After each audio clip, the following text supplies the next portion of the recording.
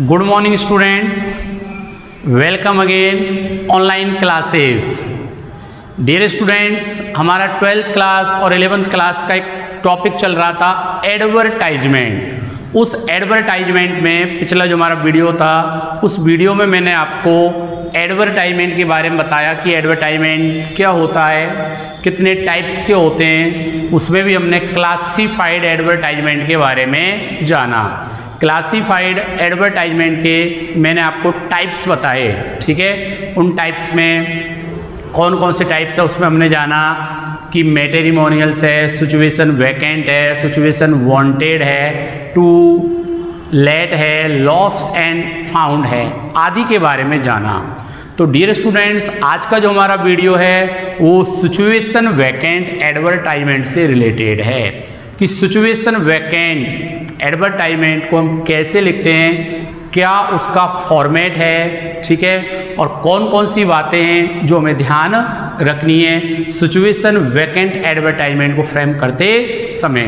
तो ये situation vacant क्या होता है, इसके बारे में हम जानते हैं। तो स्टार्ट करते हैं situation vacant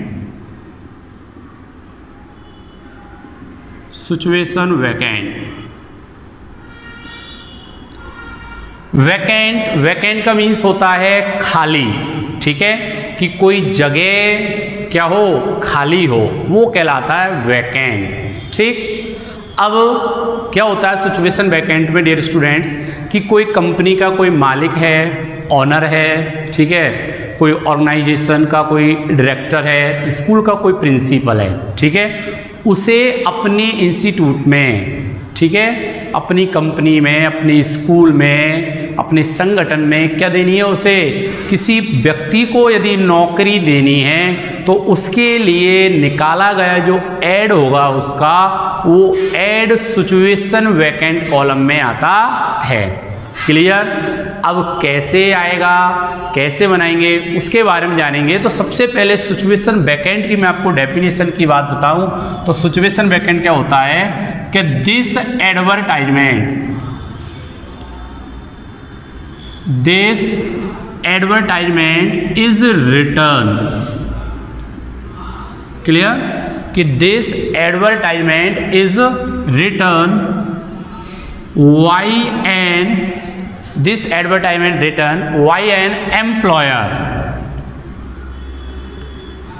by an employer who is who is looking for a person who is looking for a person clear क्या होगा कि the advertisement is written by an employer who is looking for a person for service for service in his organisation in his organisation या institute clear ये कहलाता है situation vacant ठीक है? क्या है? कि दिस एडवर्टाइजमेंट दिस कौन सा ये सिचुएशन जो वैकेंट है इज़ रिटर्न लिखा जाता है वाई एन एम्प्लॉयर किसके द्वारा? कि एक जो एम्प्लॉयर होता है, एक जो मालिक होता है कोई भी इंस्टीट्यूट का, कोई ऑर्गेनाइजेशन का, उसके द्वारा लिखा जाता है। कब लिखा जाता है? जब वो तलाश करता है। किसकी तलाश करता है? एक पर्सन की तलाश करता है। एक सुटेबल कैंडिडेट की तलाश करता है। और सर्विस क्या देने के लिए उसको? सर्विस देने के लिए, उसको जॉब देने के लिए। तो वो कहलाता हमारा सिचुएशन बैकएंड क्लियर अब डियर स्टूडेंट सम पॉइंट्स हैं, कुछ पॉइंट्स हैं to be kept in your mind वो आपको आपके माइंड में बिल्कुल क्या रखने हैं? ध्यान रखने हैं, ठीक है? कि कौन कौन सी बातें हैं कौन कौन सी ऐसी चीज़ें हैं जिनको हमारे माइंड में हमें फ्रेम करना है कब? जब हम सिचुएशन वैकेंट से क्या बनाए? एडवर्टाइजमेंट बनाए। तो स्टार्ट करते हैं कौन कौन सी ऐसे पॉइंट्स है सिचुएशन वैकेंट से एडवर्टाइजमेंट बनाते समय। तो देखो सबसे पहले जो बात आती है डियर स्टूडेंट्स कि हम पहला जो पॉइंट है सिचुएशन वैकेंट का, कि हम उसकी स्टार्टिंग कैसे करेंगे? क्लियर कि how to start situation vacant कि सिचुएशन वैकेंट को हम कैसे स्टार्ट करें? ठीक है, उसकी स्टार्टिंग कैसी हो? तो सबसे पहले जब हम उसकी स्टार्टिंग करेंगे तो पहला पॉइंट हमारा यही होगा कि उसकी हम स्टार्टिंग कैसे करें? तो स्टार्टिंग में डियर स्टूडेंट्स हमको लिखना है वांटेड या रिक्वायर्ड क्या लिखना हमको? वांटेड वांटेड या रिक्वायर्ड ठीक है? क्यों उसकी स्टार्टिंग करेंगे? वांटेड या रिक्वायर्ड से। क्लियर तो पहला पॉइंट ये है कि जब हम सिचुएशन वैकेंट एडवर्टाइजमेंट बनाने जा रहे हैं तो उसमें पहली जो बात हमें ध्यान रखनी है, वो है कि उसकी स्टार्टिंग कैसे हो, ठीक है? तो स्टार्टिंग जब हम करेंगे तो सबसे पहले हम लिखेंगे वांटेड या रिक्वायर्ड ठीक है? कि ये well qualif wanted a well qualified या एक्सपीरियंस जो भी है क्लियर सेकंड जो पॉइंट आएगा हमारा, वो पॉइंट आएगा name of name of vacancy name of the vacancy. Vacancy कह सकते हैं फिर हम पोस्ट, ठीक है? कि किसी मालिक को, किसी एम्प्लॉयर को, अपनी कंपनी में, अपने इंस्टीट्यूट में कौन सी पोस्ट पर क्या देनी है? अपॉइंटमेंट देनी है, ठीक है? कौन सी पोस्ट के लिए वो नौकरी देने जा रहा है? तो उस पोस्ट के बारे में हम लिखेंगे। तो सेकंड जो हमारा पॉइंट है वो होगा नेम ऑफ़ द वैकेंसी या फिर name of the post clear जैसे हमने स्टार्टिंग करी कि भाई वांटेड हमें चाहिए, ठीक है? क्या चाहिए? ए लेक्चरर इन इंग्लिश तो हमने क्या लिख दी? Name of the vacancy post का नाम लिखा कि लेक्चरर चाहिए इन इंग्लिश किसका चाहिए? इंग्लिश का लेक्चरर चाहिए, ठीक है? तो वो आपको लिखना है। या फिर हम नंबर बता सकते हैं भाई कितने चाहिए? अगर नंबर दिए हो तो। थर्ड जो बात है, थर्ड वाली, तीसरा जो पॉइंट है, वो है name of the organisation name of the organisation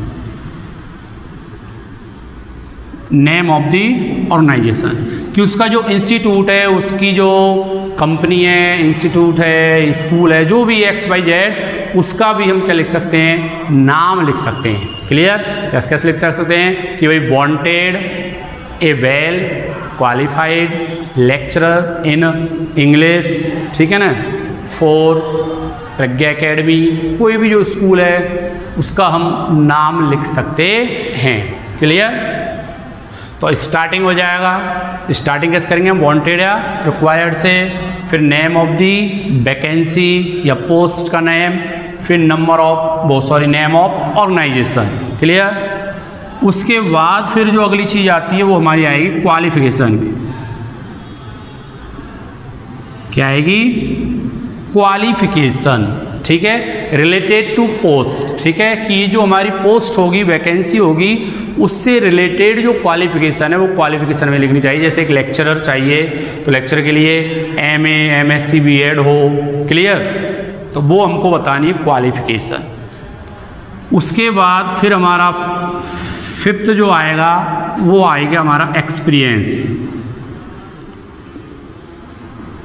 क्या आएगा? एक्सपीरियंस के बारे में भी हमको सिचुएशन वैकेंट में क्या करना है मेंशन करना है कि हमें इतना एक्सपीरियंस चाहिए या फिर हमारे पास एक्सपीरियंस नहीं है, जो भी है। क्लियर फिर अगला जो आता है हमारा, वो आता है सैलरी ठीक है? सैलरी अकॉर्डिंग टू जो भी हमारी क्वालिफिकेशन है, योग्यता है, उसके आधार पर एक्सपीरियंस के आधार पर, या फिर हम कह सकते हैं नेगोशिएबल ठीक?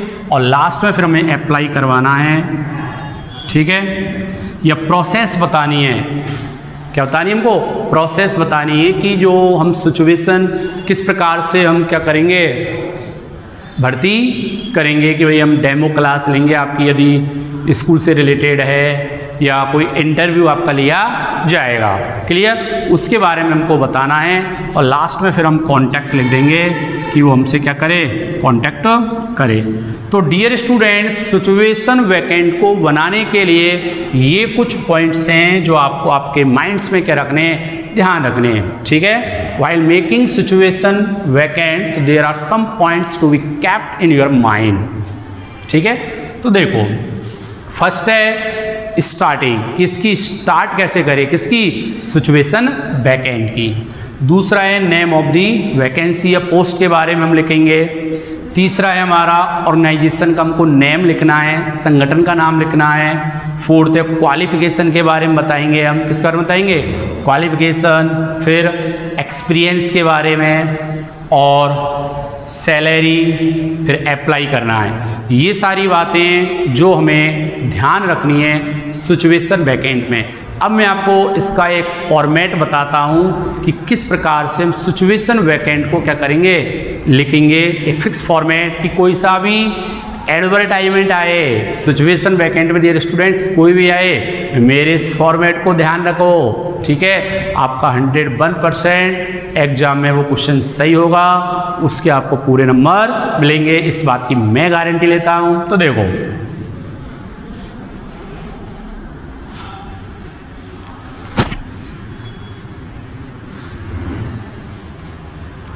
सिचुएशन वैकेंट को बनाते समय डियर स्टूडेंट आपको सबसे पहले कैपिटल लेटर में लिखना है।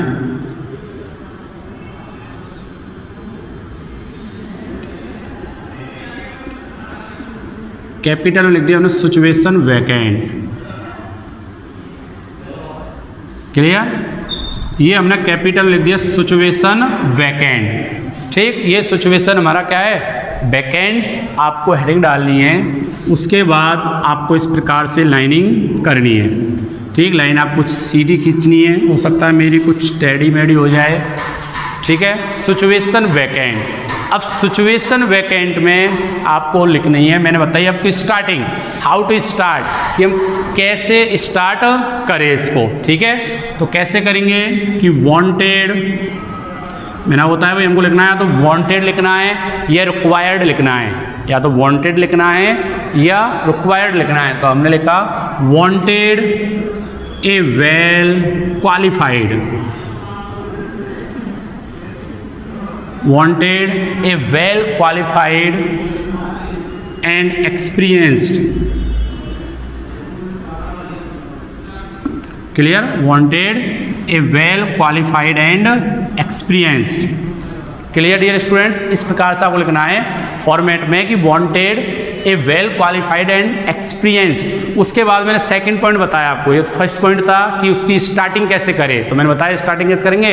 वांटेड से। तो ये स्टार्टिंग होगी हमारी कोई सा भी सिचुएशन वैकेंट आ, आपको इसी प्रकार से स्टार्टिंग करनी है कि wanted a well qualified and experienced clear अब उसके बाद आपको यहाँ पर क्या लिखना है?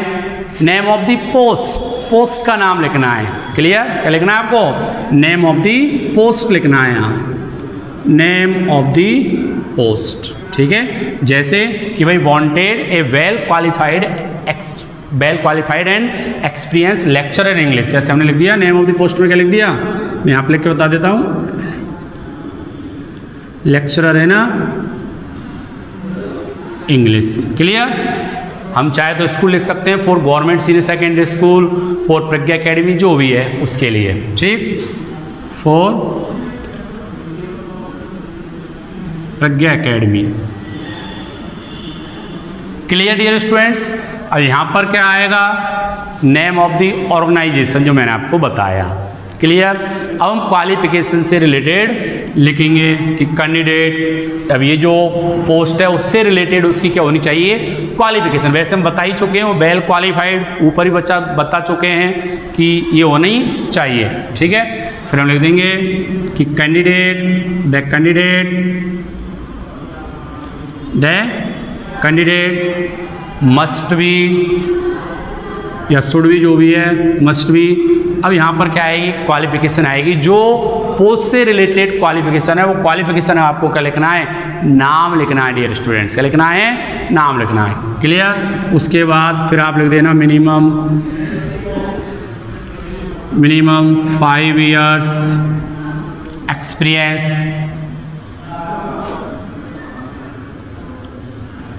ठीक है? एक्सपीरियंस के बारे में जो भी हमको बताना है। ठीक है?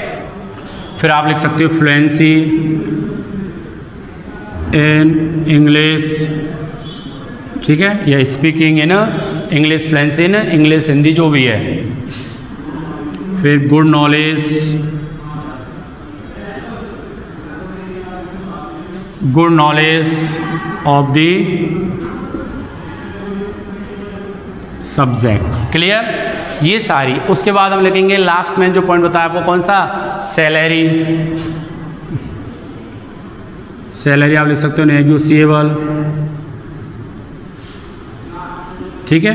अब प्रोसेस तो प्लीज़ वॉक इन इंटरव्यू तो हम इंटरव्यू के लिए लिख सकते हैं। प्लीज़